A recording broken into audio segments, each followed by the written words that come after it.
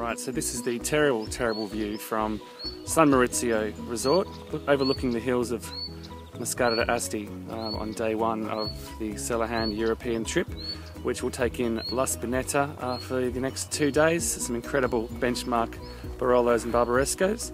Um, obviously from this beautiful base, which is the San Maurizio Resort and Spa, of course, in uh, San Maurizio, Italy.